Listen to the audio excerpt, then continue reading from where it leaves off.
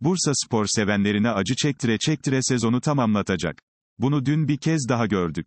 Hafta içerisinde İzmir'de Buca Spor karşısında yokları oynayıp 3 ila 0'lık yenilgiyle evine dönen yeşil beyazlı takım kendisi gibi alt sıralardan kurtulmaya çalışan Adıyaman FK karşısında galibiyet golünü ite kaka bulabildi. Teknik direktör Murat Sözkesen elindeki dar kadroya rağmen Çağatay Yılmaz ve Eren Güler gibi hücumda etkili olabilecek iki ismi kulübede oturtarak savunma güvenliğini ön plana çıkaran bir 11 sahaya sürdü. Bu sezon sol beke mahkum olan Ozan İsmail, kaptan Furkan Emre ile birlikte orta alanda görev yaparken, Berat Altındiş ileri uçta çok etkisiz kaldı.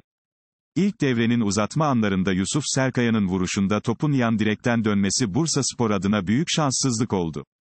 Neredeyse sıfır pozisyonla biten koca 45 dakikada şans kapıyı çalmışken fırsat geri tepilmemeliydi. Sözkesen'in Çağatay ve Eren Güler'i ikinci yarıda sahaya sürmesiyle birlikte Bursa Spor daha atak gözükse de yine pozisyon üretmekte zorlandı.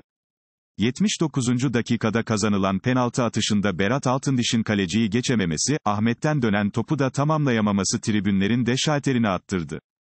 Ligde kalma savaşı veren Bursa Spor'un her zamankinden daha fazla desteğe ihtiyacı bulunduğu bir ortamda bu gerilim hiç iyi olmadı. 90 artı 1'de Mustafa Genc'in adrese teslim pasını 6 pas içerisinde ağlarla buluşturan Çağatay Yılmaz takımını ipten alırken, tribünlerden daha fazla tepki gelmesinin de önüne geçmiş oldu. Dünkü galibiyet Bursa Spor için adeta hayat öpücüğü oldu. Ne var ki yönetimin özellikle bilet konusundaki tavrı devam ettikçe taraftarla kopan bağların yeniden sağlanması mümkün görünmeyecek gibi duruyor.